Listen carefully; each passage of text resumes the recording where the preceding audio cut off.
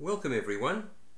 At dawn on the 15th of September 2014, a Burmese beach cleaner discovered two battered bodies at the southern end of Sairee Beach on the Thai island of Koh Tao. Those bodies belonged to the British backpackers Hannah Witheridge and David Miller. The next day, Jonathan Samuels of Sky News filed a three minute report from the island. With the benefit of a tremendous amount of hindsight, I'll give you my reaction to that report. I'll also use this opportunity to fill in some gaps and remove some of the mystery surrounding this dreadful double murder. Thailand are examining CCTV footage which they hope could provide vital clues about the murder of two British tourists on a popular holiday island. David Miller and Hannah Witheridge were found dead on a beach in Koh Tao yesterday morning after sustaining serious head injuries in a violent assault. Sky's Jonathan Samuels is on Koh Tao and sent this report. For a second night, young backpackers hold a vigil on the beach in Koh Tao. The bodies were found in the alcove to the right of those large rocks. Reports emerged later that at about 5:30 a.m. on the 15th of September, a young Thai man, Worat Toowuchien, also known as Nomsod, was seen leaving Koh Tao on a speedboat called Little Duck from a spot just 150 meters south of where the bodies were found or in other words, to the left of the screen. Candles are lit at the spot where David Miller and Hannah Witheridge had their travelling adventures cut short in the most horrific way. Sean McKenna has been friends with David since they both lived in Leeds. He told me he wanted to make the world a better place. It was always like, oh, I'm going to do this, I'm going to do that, like, and it was never selfish. It was never for selfish reasons. It wasn't for self gratification. It was just they wanted to spread this, uh, this peace and love. yeah, he was kind of the guy that I always wanted to be. Okay, Sean McKenna. I won't discuss Sean McKenna in any great detail here, but several people expressed doubts about whether Sean was as close to David Miller as he makes out. Jonathan Samuels was obliged to take Sean at face value, although Sean is a colourful character. Most of you would be aware that Sean later gave a dramatic interview to Jonathan claiming that Nomsod's uncle and a Thai police sergeant threatened him. Within days of the murders, Sean fled the island and settled in Milan, where he's kept a low profile. Now, the next 15 seconds are really interesting. Most of the people at this vigil didn't know David or Hannah, but they wanted to pay their respects to fellow travellers. Travellers who come to this part of the world because it's renowned as a peaceful place to spend time. Well, for people who don't pay attention or who only look at advertising material or similar misleading sources, this part of the world might be renowned as a peaceful place to spend time. The reality is that the Gulf of Thailand has been infested with pirates and smugglers for centuries.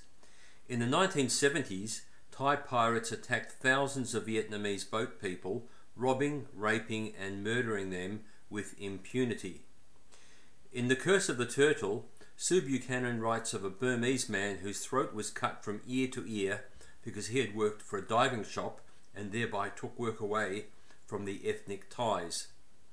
Ian Jacobs was murdered on Koh Tao in January of 2000. Mr. Ban was assassinated in early 2002. Hiroshi died after participating in a snorkel test. Yoshi Suzawa, also known as Charlene, was apparently murdered in June 2004 and the circumstances covered up. Ben Harrington was apparently murdered in 2012. Anthony Cardullo was threatened and found dead in 2013. Nick Pearson was apparently murdered in January of 2014. And of course, there are many other assaults and rapes that have occurred on the island. Okay, back to the Sky Report for several more revelations. That peace was broken moments after this CCTV footage of the pair was filmed. Police want to speak to this man of Asian appearance acting strangely near where David and Hannah had been enjoying a night out. He's our number one suspect, the island's police chief tells me. And what's more, he's convinced the man is still on the island. Police are at every quayside, making sure he can't leave. It was promptly revealed that the footage of the couple you just saw bore absolutely no resemblance to Hannah and David.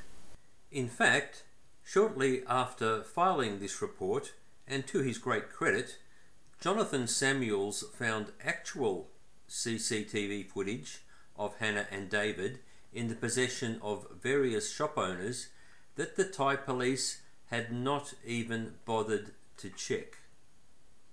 There had been much speculation and debate over the identity of the running man. Many observers noticed that the running man and Nomsod share the same unique gait and a peculiar posture of the left arm and elbow.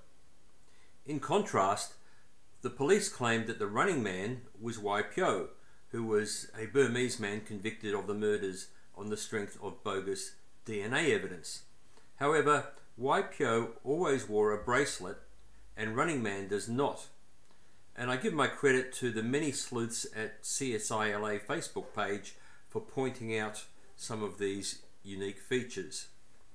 A sound conclusion is that Running Man is Nomsod and that he left the island at 5:30 a.m. on the 15th of September 2014, contrary to what the island police chief told Jonathan Samuels. Okay, back to Jonathan Samuels one last time. There have been raids on homes, but so far not enough leads. Immigrant workers have been the focus of police attention. Evidence has been seized, but there have been no arrests. A British consular official has been on the island. Extra police have been brought in. Back home, and David's family described him as a talented artist who had everything to look forward to. Meanwhile, Hannah's relatives say they're utterly devastated at the loss of a beautiful, intelligent, loving young woman who poured joy into the lives of all who knew her. Sentiments echoed by the manager of the wedding show company where she used to work. She was beautiful. She was natural, um, funny, witty, overall intelligent, and we were really, really lucky and honoured to have Hannah work with us, and we were so sad to see her go. Um, and like I say, it's just total devastation that this has happened. Travelling is a rite of passage, but this horrific crime has frightened both backpackers and their parents. Everyone here is praying whoever's responsible is brought to justice and quickly. Jonathan Samuels, Sky News, Koh Tao in Thailand. Well, it's certainly tragic, isn't it? And uh, what do you think of Running Man? Do you think Running Man was actually Nomsod, or would you agree with the Royal Thai Police and uh, assert that it was uh, Wai Phyo? And uh, do you have any other thoughts uh, regarding the uh, the video and uh, any of the content? Okay, look, all the best. If you enjoyed the video, please give it a thumbs up and share it with your friends and stay safe. Bye for now.